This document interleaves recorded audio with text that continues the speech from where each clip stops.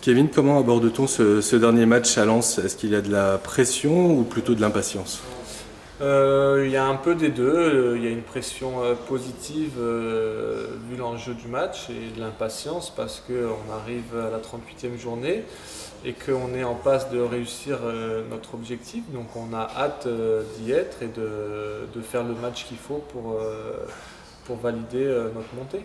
Justement, cette montée, si elle est validée euh, ce vendredi, est-ce qu'elle ne sera pas d'autant plus belle au regard de la saison un petit peu difficile?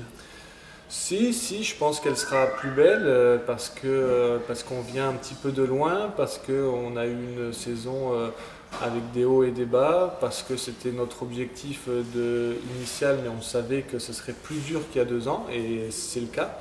Donc si, si on obtient notre montée, je pense qu'on va plus savourer, et même, même les supporters.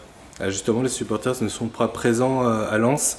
On a vu qu'ils avaient été importants à, Bourg-en-Bresse et surtout à Dijon. Qu'est-ce que, qu'est-ce que vous en pensez? Bah, forcément, je suis, je suis déçu, comme euh, tous les, tous les Messins. j'aurais aimé qu'ils soient là. Euh, je pense que pour eux, c'est pareil.